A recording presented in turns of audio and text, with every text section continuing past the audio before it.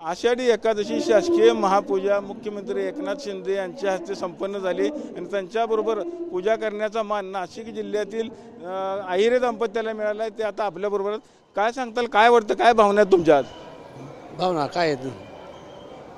यो योगायोग झालं डायरेक्ट हां. कसं निवडलं तुम्हाला?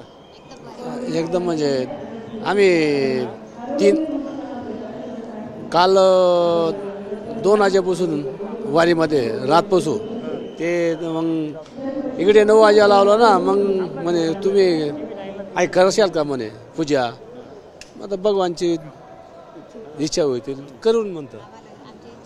किती किती वर्ष झालं वारी करता तुम्ही? सहा वर्ष. सहा माझी सहा वर्ष झाली त्यांची बारा पंधरा वर्ष झाली ते. असं वाटलं होतं का पूजेची संधी मिळेल म्हणून? नाही. मनात पण नव्हतं असं वाटलं असं. नाही. काय काय करता तुम्ही नाशिकमध्ये? आपलं आंबासनमध्ये राहते आंबासन. शेती. शेती करता किती मुलं वगैरे काय? दोन मुलं. दोन मुलं. हां.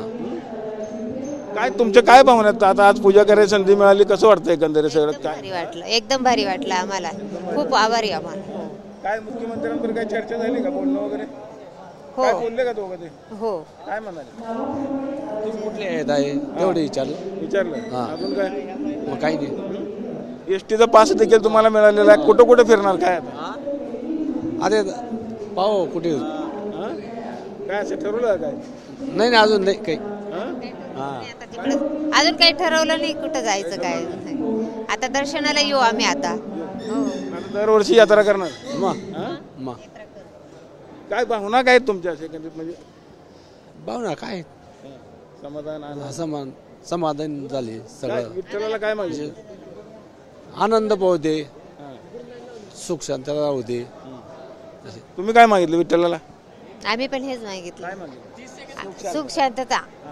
आणि वाऱ्यांवर असं परमेश्वरला सांगितलं तर बोलवा बा आम्हाला पण. आम्ही येऊ बा तुमच्या दर्शनालाच आपण बघितलं असेल की त्यांच्या ज्या भावना होत्या ते सुख समृद्धी मिळू द्या आणि सर्व सर सर्व लोकांना सुखी समाधानी ठेवा असंच त्यांनी देवाला साकडं घातलेलं आहे. विठ्ठल मंदिरातून cameraman Amit sir Ravi Lavekar T V nine Marathi.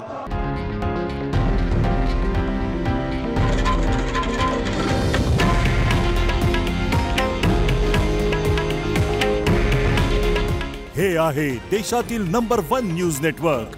आणि आपण पाहत आहात टी व्ही नाईन मराठी. काळजी तुमची हित महाराष्ट्राचं.